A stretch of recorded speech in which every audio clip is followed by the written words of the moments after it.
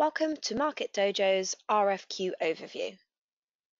Within this demonstration, we will show you how to build, manage and award an RFQ event, which includes some initial questions for participants. We'll also cover how participation will work from your supplier's perspective. In order to show you this, I'm first going to go to the sandpit. The sandpit is our test environment where you can try things out before inviting real suppliers. Inside the sandpit, you can create a new event and then switch to acting as a participant here in the top right corner. This means you have the ability to work through the process from both sides. For new users, we strongly recommend practicing in the sandpit before creating your first event in the live site. So let's get started and create a new event. You can build an event from scratch or clone and edit a past event. In this case, we're going to build a new event. First, we'll give the event a name that's easy for suppliers to understand. For example, in this case, we'll call it IT hardware. You can choose the currency that will apply to your event or select the multi-currency option if you'd like suppliers to bid in local currency. Next, add your event summary. This should give suppliers a good overview of what the event is for, who you are, what you need, and any other key information. The brief will be sent to your suppliers in their initial invitation email, so it's important that you include a sufficient level of detail to ensure that people are encouraged to participate without overloading them with information. Now we'll build the skeleton or structure of our event.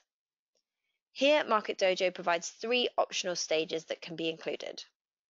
Questionnaire, RFQ, or e-auction. Including a questionnaire stage will allow you to ask your suppliers a number of questions, which may or may not relate to pricing. Selecting RFQ will allow you to gain pricing from your participants, which can then be ranked by the tool to show you who has placed the best bids. Adding an e-auction stage means that suppliers will be invited to participate in a live auction. You can choose to include one or more of these stages to ensure that your event fits your needs. To select your stages, just click the associated boxes. Today it will include a questionnaire and an RFQ. When adding a questionnaire, first we need to give the set of questions a name and a deadline for completion. We'll add the questions themselves at a later stage. Questionnaires can be pre-qualification and can include both scoring and weighting if this is important for your event.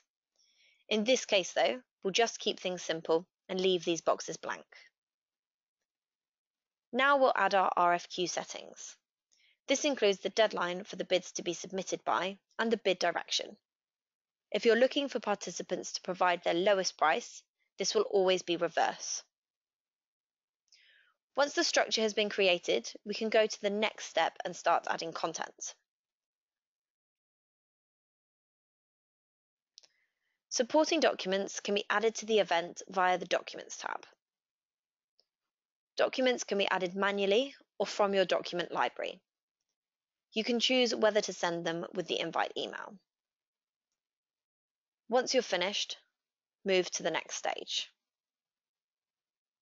We're now going to add our questions.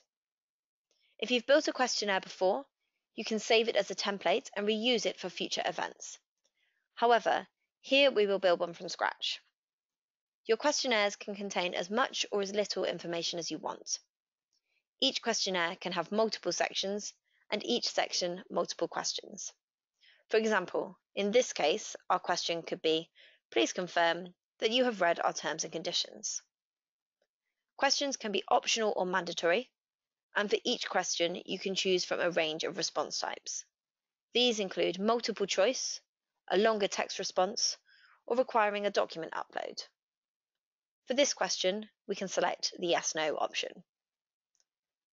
For longer lists of questions, you can use our Excel upload option here. Once the questions are added, you can progress to the next step. We're now going to build our lots. Here we have two options, simple and advanced. When using simple lots, you will list your item names and the participants will provide pricing. Simple lots are the quickest and easiest pricing option, and in scenarios where all you are looking for is a number of item prices, this will be the most suitable option. For more complicated pricing, you should use our advanced lots. Using advanced lots, you can include multiple prices per item, as well as text and number fields and complex calculations. Here we're going to build some simple lots. Each lot requires a name, the quantity needed, and the unit of measure, such as each if you're looking for pricing per item, ton for pricing by weight, or box of six if that's how the item comes. Our RFQ savings are calculated based on the current price, so we strongly recommend you add a figure here. Our tool will then compare the bids received in the RFQ against this current price. If you don't have information on existing pricing, we recommend stating your budget instead.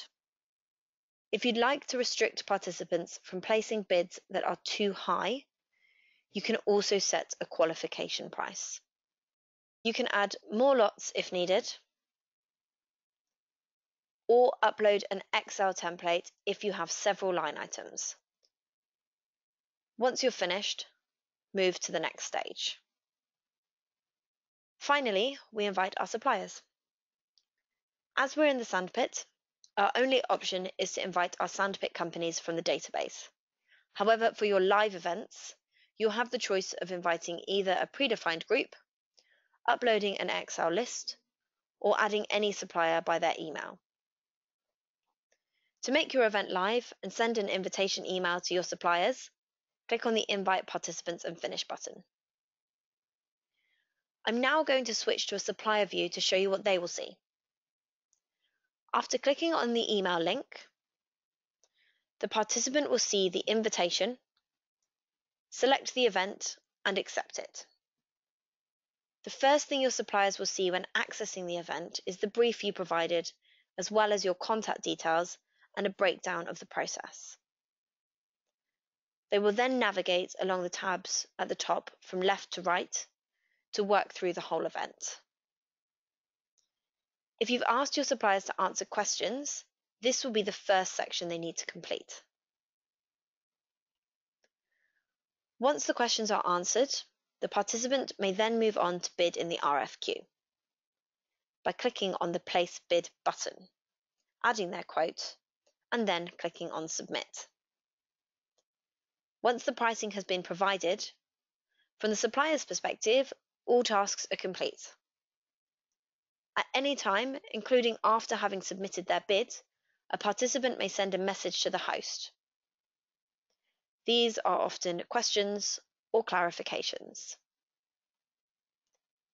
They can access the documents you've attached here in the Documents section, as well as any documents they've uploaded. Now let's switch back to a host view. Any messages sent by participants throughout the process will clearly show in your Messages tab. Participants tab will show you who has accepted the event, as well as who the invite email has been delivered to and who's opened it. It's worth keeping an eye on this tab throughout to see if there's anyone you need to chase. The questionnaire tab will show you all participant responses, so you can easily compare. You can also export this data into Excel. Participant pricing will show on the RFQ tab. Here you will clearly see the best bid for each item and which participant has placed this bid. You can also expand this out to see the pricing from each participant. Once the RFQ deadline has passed, you can export the reports to analyze in Excel. You can add another round of bidding, or if you'd like, you can award the business through the tool. To award the business, just choose the participant you wish to award the business to, tick the box to send them a message, and update the text. You can include a purchase order number if you'd like. Once you are finished, you can send the award notice. And that's all there is to it. Hopefully this has shown you how easy it is to create, participate in and manage an RFQ. However, if you have any questions on this, please don't hesitate to contact our support team.